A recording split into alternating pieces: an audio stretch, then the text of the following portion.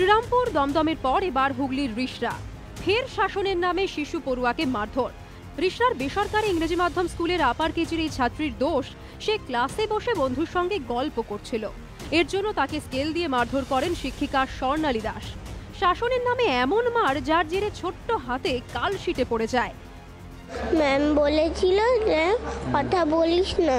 আমি কথা বন্ধ করিনি বলে আমাকে যখন বই দিচ্ছিল তখন তখনও কথা বলছিলাম।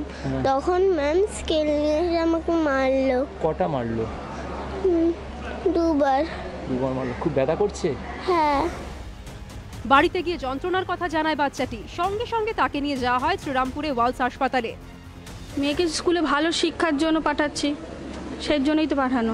বাচ্চাদের যে এইভাবে মারাটা আজকে আমার বাচ্চার সাথে হয়েছে দুদিন পরে অন্য বাচ্চার সাথে হবে না যে সেজন্য সেটা তো কোনো গ্যারান্টি দিতে তার জন্য আমি প্রতিবাদ করতে চাই।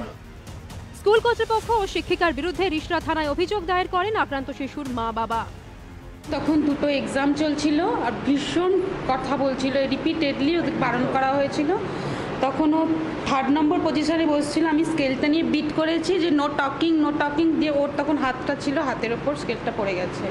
ভীষণ খারাপ লাগছে বিশ্বাস করুন আমার এতদিনের চাকরি জীবনে এটা I can believe this school কর্তৃপক্ষ জানিয়েছে অভিযুক্ত শিক্ষিকাকে সাসপেন্ড করা হয়েছে। টিচারকে সাসপেন্ড করব? আমি তো হাজারবার টিচারদের বারণ করি কারোর গায়ে টাচ করবে না। হাতে কালশিটে আর মনে আতঙ্ক বাচ্চা মেয়েটির কাছে স্কুল এখন যেন এক আতঙ্ক। Sourav Bandyopadhyay report ABP Ananda Hooghly.